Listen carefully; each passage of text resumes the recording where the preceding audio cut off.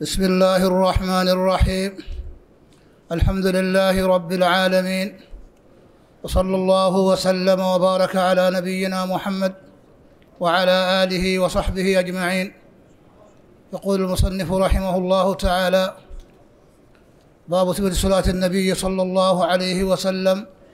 الحديث الرابع عن ابن عباس رضي الله عنهما قال قال رسول الله صلى الله عليه وسلم أمرت أن أسجد على سبعة أعظم على الجبهة وأشار إلى أنفه واليدين والركبتين وأطراف القدمين.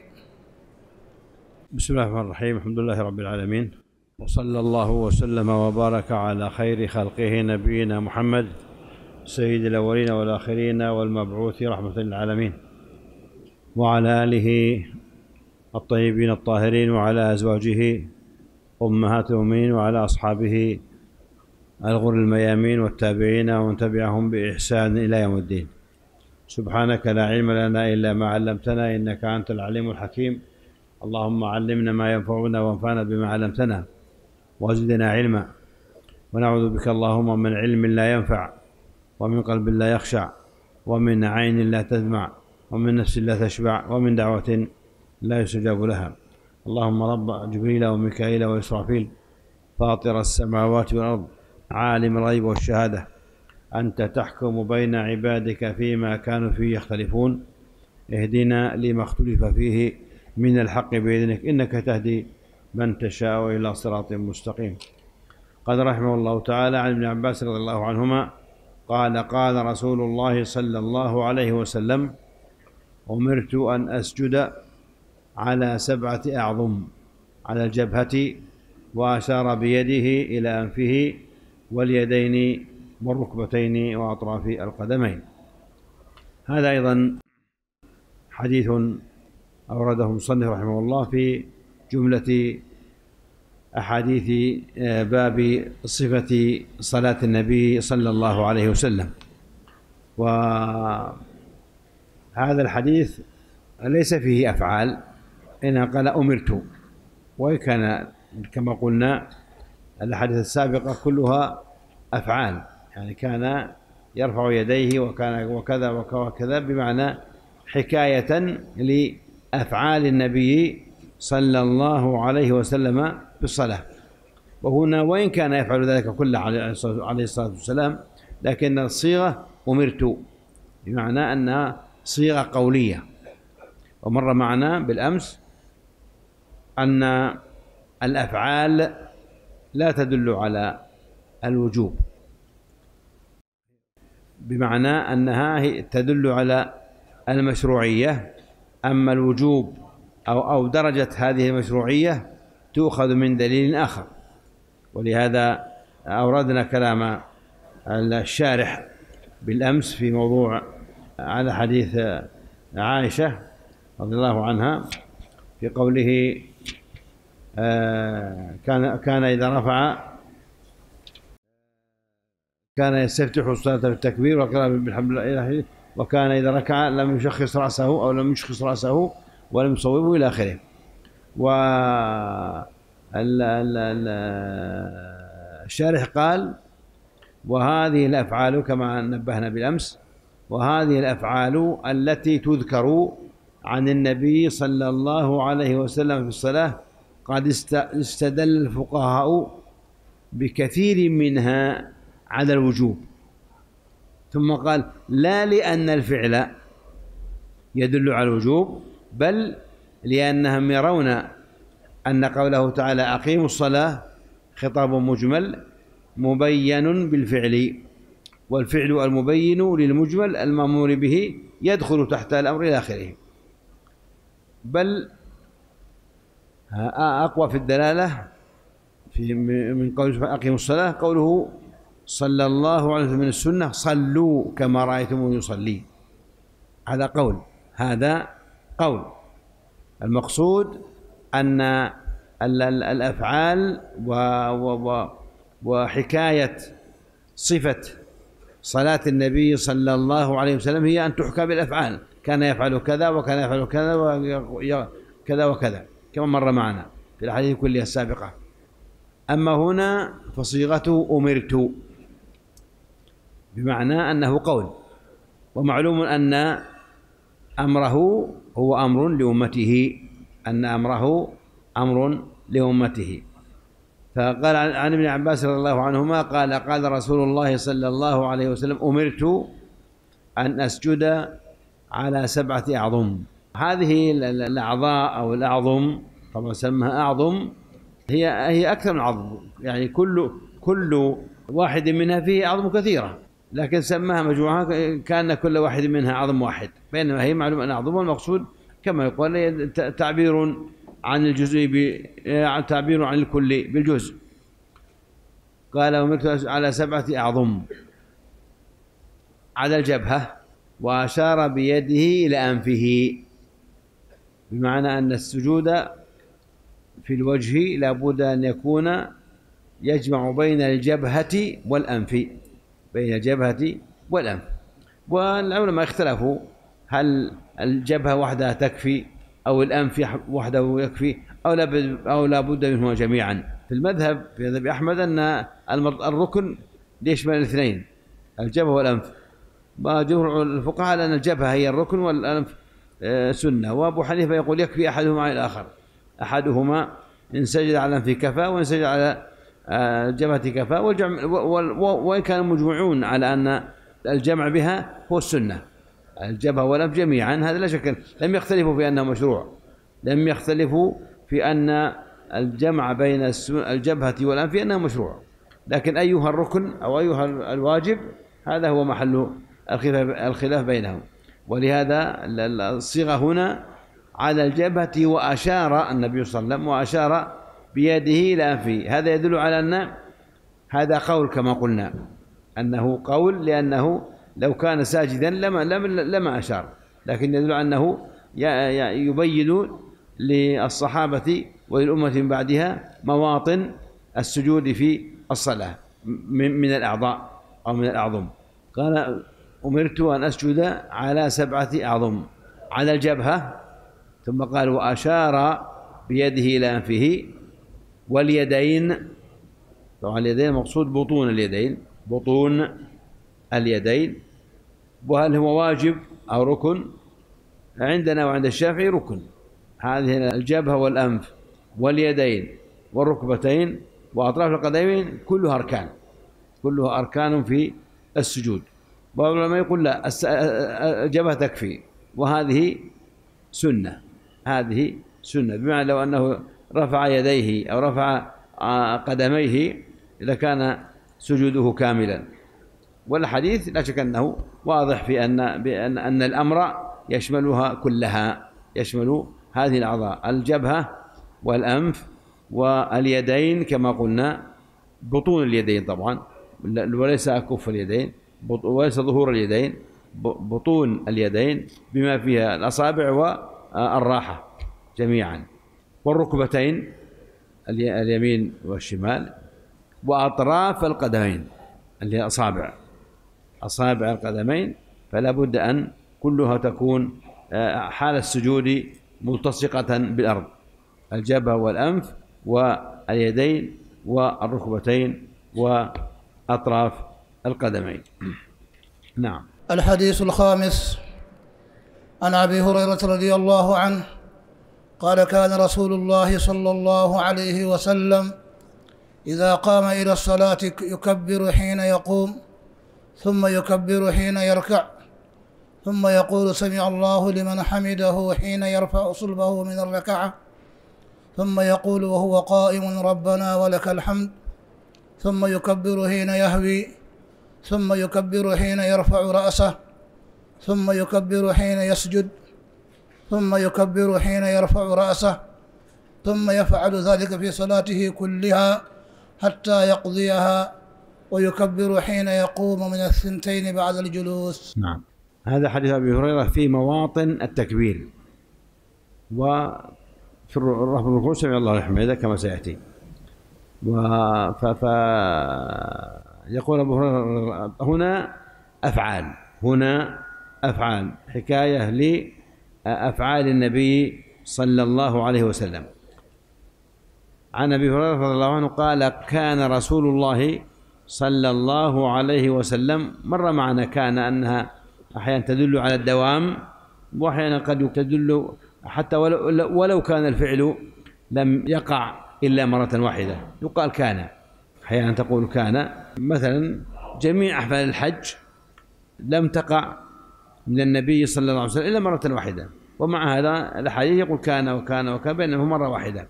فأحيانا كان تدل على الدوام والاستمرار وقد تدل على مرة واحدة. ومر معنا هذا في أول الكتاب. قال كان رسول الله صلى الله عليه وسلم إذا قام إلى الصلاة يكبر حين يقوم. لاحظوا معنا حين حين حين كل ستأتي طبعا الأولى تكبيرة الإحرام. تكبيرة الإحرام. و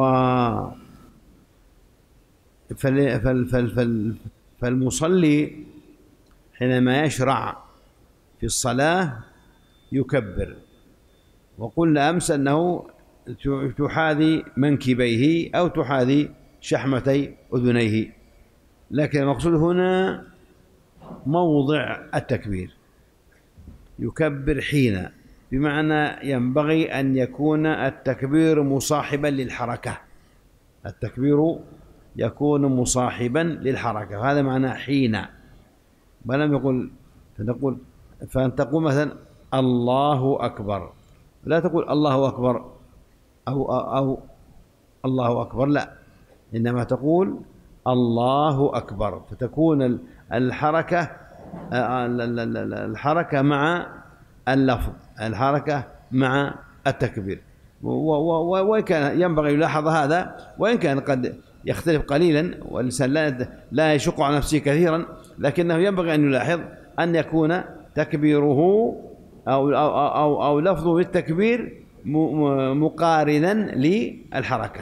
مقارنا للحركة. وكذلك كما سيأتي معنا في الركوع والسجود إلى آخره. قال كان رسول الله صلى الله عليه وسلم إذا قام إلى الصلاة يكبر حين يقوم التي هي تكبيرة الإحرام. تكبيرة الإحرام يكبر وحين يشرع. وهو أثناء شنو الله أكبر. ثم يكبر حين يركع. كذلك ينبغي أن يكون الركوع أن التكبير متماشيا مع حركة الركوع. فيقول الله أكبر.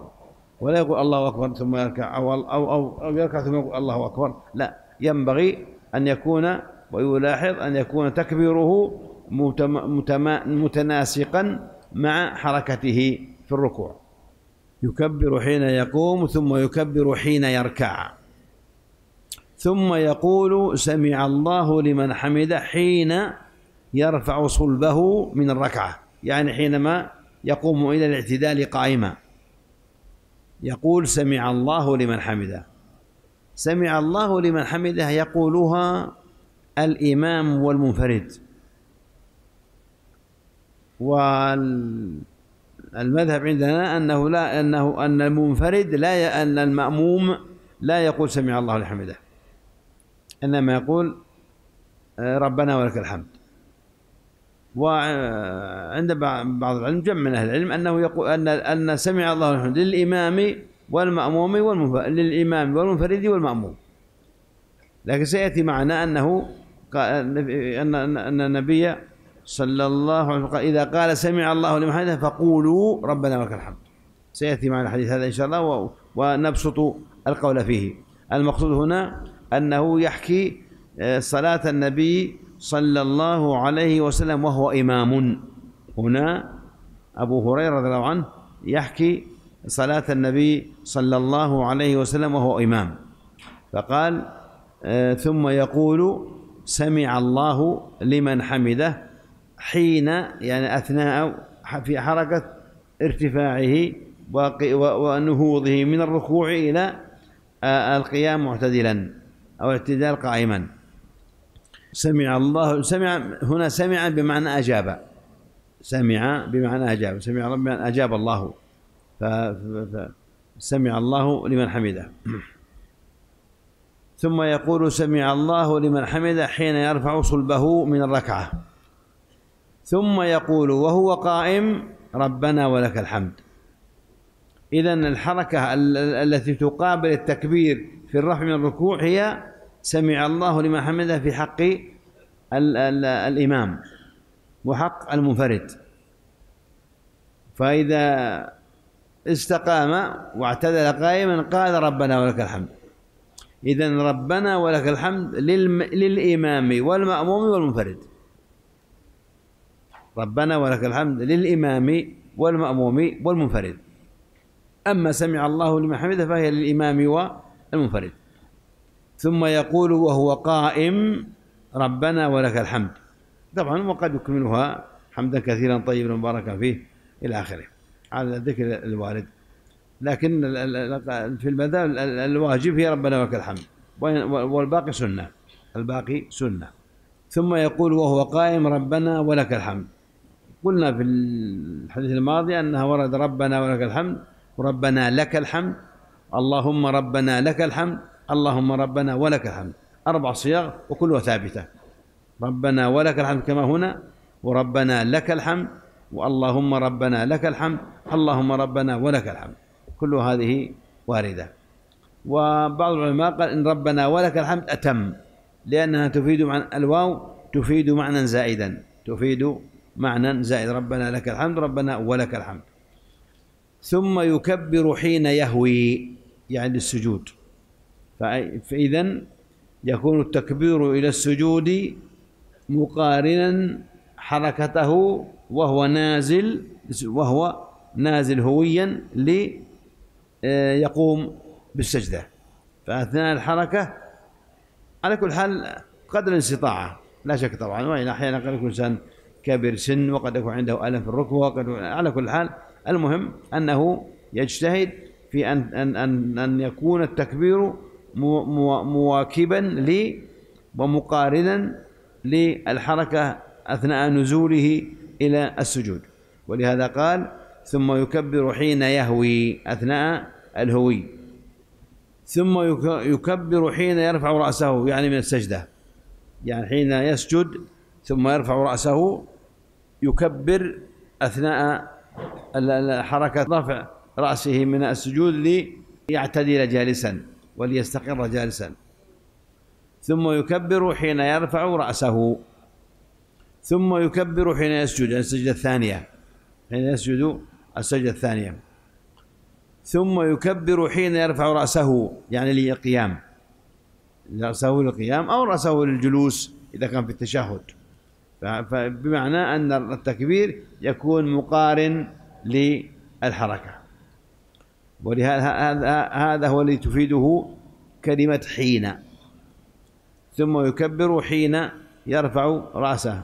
ثم قال ثم يفعل ذلك في صلاته كلها حتى يقضيها. يعني في جميع الصلاة إن كانت من ركعتين أو من ثلاث أو من أربع.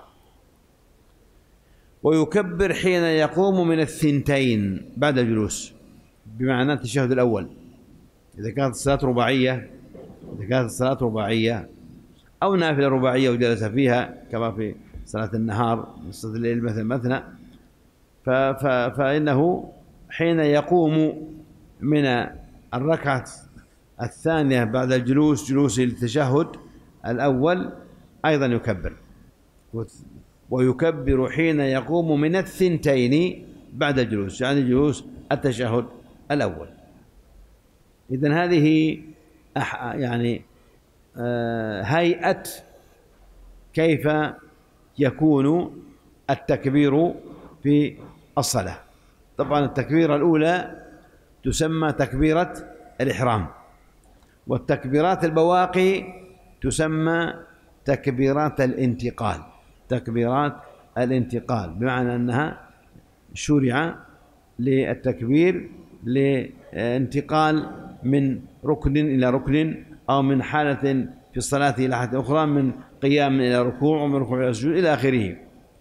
وحينما يعني قد كان يحصل التنبيه هذا قبل يعني من كمال هذا الدين ومن أيضا بيان آه، حقيقة مقام الصلاة هو أنه اختير لفظ التكبير ليكون هو المؤدي أو أو أو, أو ال ال القول الذي يكون به الانتقال بين أفعال الصلاة. ولا شك أن هذا يعني يشعر وقلنا قبل في الجلسة قبل الماضية أن الصلاة هي يعني أولا أولا هي هي آه، أعظم أركان الإسلام بعد الشهادتين. يعني مقام الصلاة أعظم من الأركان كلها أعظم من الصيام ومن الزكاة ومن الحج ومن سائر المطلوبات الشرعية. ولهذا مشروعة في اليوم خمس مرات. مشروعة في اليوم خمس مرات. بينما بقية الأفعال بقية الأركان إما في العام مرة كالصيام وإما في الزكاة وعلى الأغنياء وإما في الحج في العمر مرة. بينما الصلاة في اليوم والليلة خمس مرات. لأنها وقوف بين وقوف العبد بين يدي ربه. ولهذا وهي أعظم أركان كما قلنا. بل بل بل وحتى ذهب جمع من المحققين إلى أن من آه، تركها يكفر وإن كان مؤمنا بوجوبها. أن من لم يصلي أنه كافر. حتى قالوا أنه لو, لو, لو لم يصلي فرضا واحدا أنه يكفر. نسأل الله السلامة. والرسول صلى الله عليه وسلم العهد الذي بيننا وبينهم الصلاة. العهد الميثاق يعني وأصل الإسلام. على العهد الذي بيننا وبينهم من تركها فقد كفر. فنظرا لقيمة الصلاة ومنزلتها وعظم وهي أول ما يحاسب عليه يوم القيامة وتجب على على المسلم الصحيح. والمريض والذكر والأنثى لا تسقط إلا إذا فقد العقل ما يدل على عظم منزلتها. بينما الصيام مع الاستطاعة والحج مع الاستطاعة والزكاة مع القدرة المالية إلى آخره. بينما الصلاة لا. الصلاة ما تسقط ما دام الإنسان عاقل. ما دام عاقل يصلي بوضوء. إن لم يجد وضوء يتيمم. إن لم يتيمم يصلي بدون لا وضوء ولا ولا ولا, ولا تيمم يصلي ساتر العورة إن لم يجد يصلي عريانا يصلي إلى القبلة إن لم يستطع يصلي إلى أي جهة فهي لا تسقط أبدا يعني شروطها كلها مع القدرة شروط الصلاة من ستر العورة استقبال القبلة الطهارة الطهارة مع القدرة استطاع يتوضأ يتوضأ ويصلي يتيمم. إن لم يجد تيمم أو لا يستطيع حتى محروق حرق حتى التيمم يصلي من غير وضوء ولا تيمم. يصلي قائما. إن لم يستطع فقاعدا إن لم يستطع على جنب إن لم يستطع فيومئ. ما تسقط. مما يدل على على على عظمها. بينما هذا لا, لا يوجد في الفرائض الأخرى. المقصود أن الصلاة لعظمها من عظمها أنه الله سبحانه اختار لها التكبير.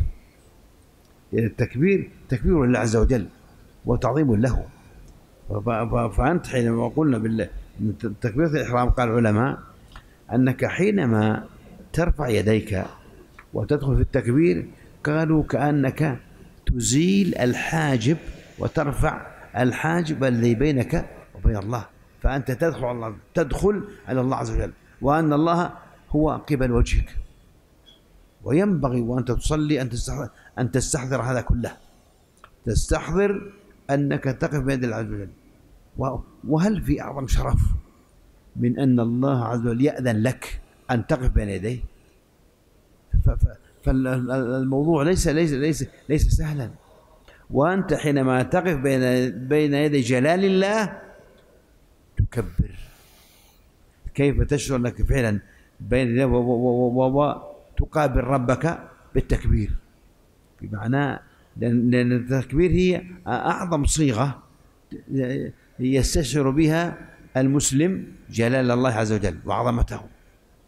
فمن هنا التكبير كله في حركات الانتقال. تكبير الإحرام أولا ثم هذه التكبيرات. إلا من رفع الركوع تقول سمع الله تقول ربنا ولك الحمد. إذا قال المأموم الإمام سمع الله حمده وإذا كنت منفردا تقول سمع الله حمده بما يدل على عظم الصلاة وأيضا تحريمها التكبير تحليلها التسليم. أيضا حينما تنتهي تسلم وتسلم على كل عبد صالح. بل تسلم على كل عبد صالح في السماء والأرض. هذا يدل على عظم هذه الصلاة ومزيتها ولهذا يعني من نعمة الله على عبده أن يعينه على الإكثار من الصلاة. صلاة النافلة من من أعظم القربات. في النهار وفي الليل. من أعظم القربات الصلاة. في النوافل وفي الليل وفي النهار إلا عاد أوقات النهي هذه معروفة هذه لا يصلى فيها. أما غيرها فيصلي في كل وقت. ومن أفضل ما تقرب به الله الصلاة. لأنها خشوع وانطراح بين يدي الله عز وجل ووقوف بين يدي الله عز وجل وسؤال وسجود. يعني يعني أفعالها عجيبة. أفعالها من الدلالة على على الخضوع لله عز وجل واستشعار جلاله وعظمته بل بل استشعار العبد. يعني من نعمة الله أن يستشعر قربه من الله. لأن الله أدناك والله قربك والله أذن لك أن تقف بين يديه.